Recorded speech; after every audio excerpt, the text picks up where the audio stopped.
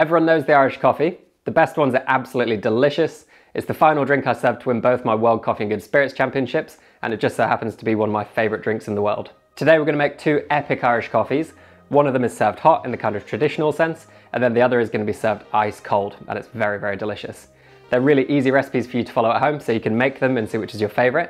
And now, let's make some coffee cocktails.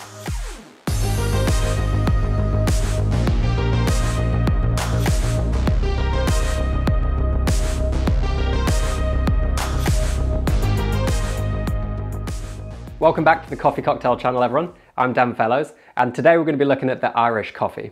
So this recipe is going to lay really good foundations, give us some really good templates to start experimenting with, but it's actually the first in a lot of episodes about the Irish coffee, including I'll be sharing my World Championship winning Irish coffee recipes, so make sure you subscribe to the channel if that sounds like your kind of thing. So this episode is a little bit of an experiment really, making a hot and a cold Irish coffee. So we're going to have exactly the same fundamental ingredients, but the proportions, the glassware, and critically the temperature are going to be completely different at complete opposite ends of the spectrum. Both balanced, both delicious, but completely different end results from the same ingredients. So when it comes to the ingredients, we're going to keep things really simple. We're going to go with an Irish whiskey.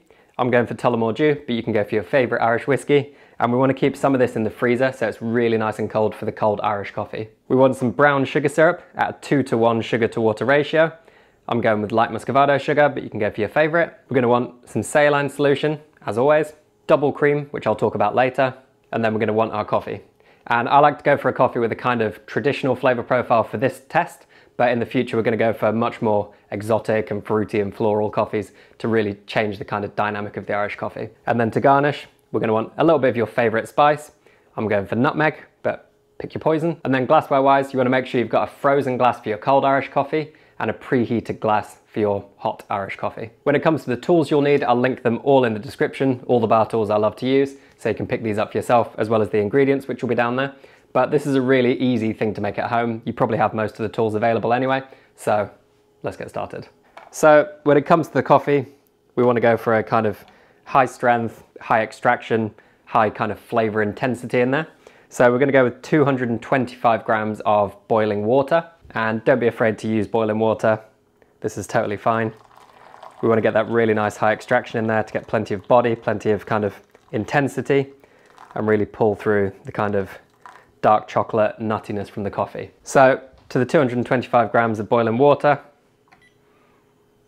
I'm going to add 20 grams of coffee, which works out to be 89 grams per litre of coffee to water, which is quite high. Want to really get these two introduced to each other so they really kind of get to know one another and there's no dry patches. And then we can leave this to steep for two to three minutes. Again, don't be afraid of extraction. It's kind of our friend. We're gonna balance it with the sugar syrup and the other ingredients. So that's doing its thing. The coffee, I'm going for a Christmas coffee from my friends at UE. So thank you for sharing this.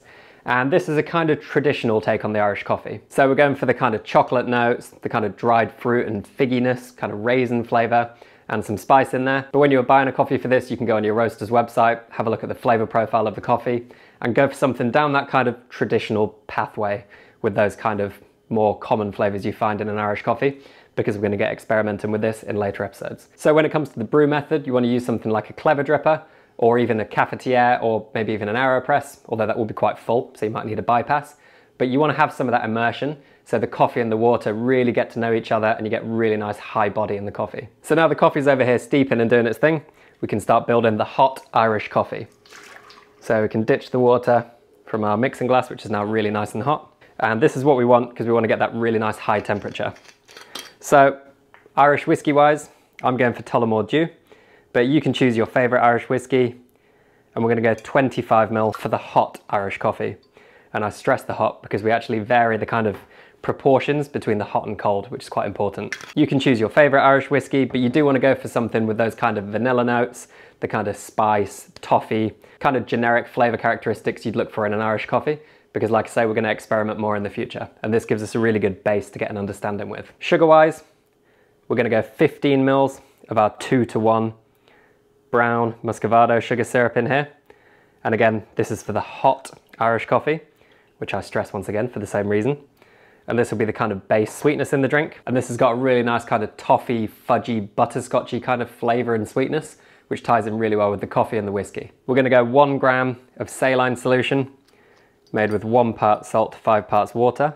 And this just bridges everything together. And I'll link a video all about seasoning drinks at the end, which I think is quite a useful database of how you can really tweak and refine your recipes. And now we've got the base of our Irish coffee, we can add the coffee to it. So this is gonna take a few minutes to draw through and we'll put it to one side. And in the meantime, we're gonna make the cold Irish coffee. So for the cold Irish coffee, I need to head to the freezer. So from the freezer, I've got two very important things. The first of which is the same whiskey, just extremely cold.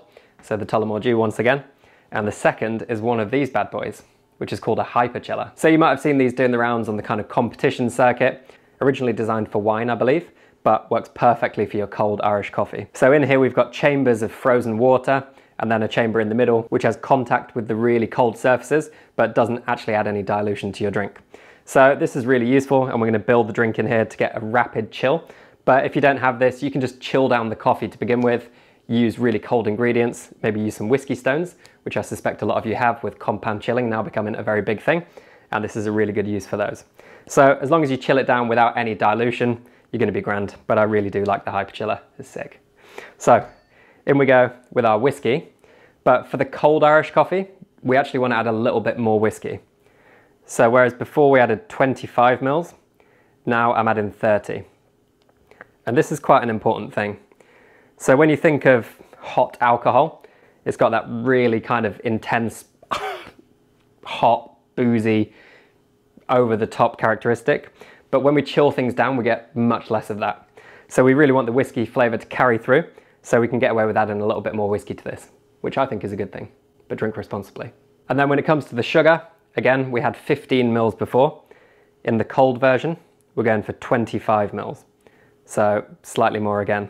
And this might sound like too much, but to go off on a little bit of a tangent, when we think about things that are really extremely cold, like ice cream or a really nice cold glass of something like Coca-Cola or a soda, the sweetness feels balanced, but when they warm up and come to sort of room temperature, they feel overpoweringly sweet, really kind of sickly and just not good. So if we made this Irish coffee into a hot Irish coffee, it'd be way too sweet, but because we're serving it nice and cold, we get really delicious balance. And this is quite an important kind of deviation from the original recipe. We're gonna go again with one gram of saline solution for the very same reason, just to bring everything together. And now we've got the whiskey, the sugar, and the saline in here.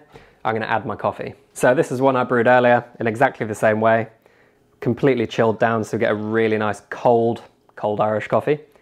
But you get lots of the kind of intense flavors from the brew method and now we can give this a little mix. So I'm just gonna leave this in the HyperChiller to get really, really nice and cold. Give it a little swell so it mixes together because you don't want any kind of separation between ingredients. And then I'll leave this to one side with the other hot Irish coffee, which is just about ready. So now we need to prepare our cream. So in here, I've got exactly 200 grams of double cream. And weighing your double cream is actually really important to get consistency across results. I also know with this particular cream, which is an organic double cream, it takes about 50 shakes to get exactly the texture I'm looking for, which is kind of lightly whipped, but not butter, which no one wants. And a few little pro tips, when you buy cream, don't shake it in the shop. Don't, when you put it in the fridge and bring it out, shake it. When you've got it in your shopping bag, don't shake it, because all of these count towards your shaking quota. I'm such a nerd, but I've spent a lot of time looking into this and it does really help. And we want to make sure we shake this consistently so that we get the same results as close as possible every single time. So you're going to have to bear with me while I shake this 50 times. 1, 2, 3, 4, 5, 6, 7, 8, 9, 10. 2, 2, 3, 4, 5, 6, 7, 8, 9, 10. 1, 2, 3, 4, 5, 6, 7, 8, 9, 10. 1, 2, 3, 4, 5, 6, 7, 8, 9, 10. 1, 2, 3, 4, 5, 6, 7, 8, 9, 10. I think that was 50. You might have to slow that down and watch it again. I usually count 20 twice and then 10, but randomly I changed it. Anyway, we digress. Now we've got our cream. Pour this through a fine strainer so that it's nice and bubble free. And then once we have our cream all prepared, this actually holds pretty well. You can leave it sit in for a minute or two, it's no problem at all. We can start building the hot and the cold Irish coffees. So as I said at the beginning, freezing cold glass for the cold drink, preheated glass for the warm drink. I'm gonna dump the water from here. And now we can assemble our hot and cold Irish coffees. And a pro tip, you don't wanna move these around too much. And I wanna get some really nice beauty shots of these drinks. So I'm gonna build them exactly where they go. So in we go with, let's start with the hot, which everyone's kind of familiar with. So to recap the recipe for the hot, we've got 25 mils of Irish whiskey, 15 mils of two to one brown sugar syrup, one gram of saline solution, and then the coffee with 20 grams of coffee to 225 grams of boiling water. And then we're gonna top this with our precisely shaken double cream, which takes a bit of practice, but can be done without a spoon, like so. Oh yes, it flowed absolutely perfectly. And then now we've got the cold Irish coffee, which is quite different, quite unique.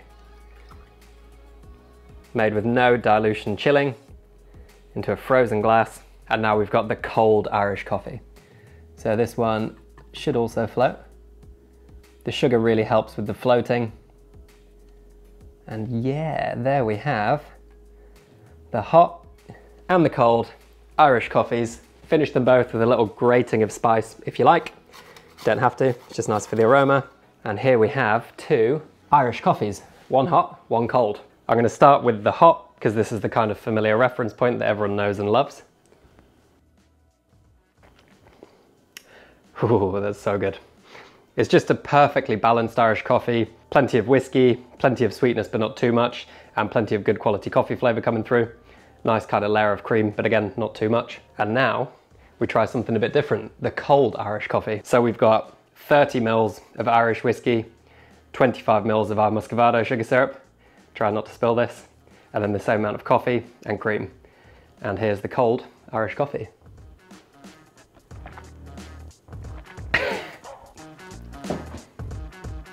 it's so good. Like, completely different to this in such a good way. This is like warm and comforting and chocolatey. This is kind of fruity, still got some good quality chocolate in there, but it's just that extra sweetness really helps. Oh, you have to try this. This is so good.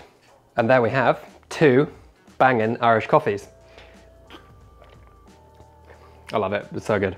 So these are really good templates for you to play around with different whiskies, whatever you have in your cupboard, make sure you give them a try. Different sugars and different coffees. And by kind of playing around with these different ingredients, you get completely different Irish coffees. So play around with them, make the hot, make the cold. Let me know in the comments which one you prefer, which ingredients you go for, and I hope you enjoy these Irish coffees. So if you've enjoyed this, make sure you subscribe to the channel, which I'll put here. And if you want to see more coffee cocktail recipes, I will put some more here and here for you to enjoy. So I'm gonna get back into these. I think I'm gonna go back to the cold Irish coffee because it's super refreshing and I'll see you soon. Cheers.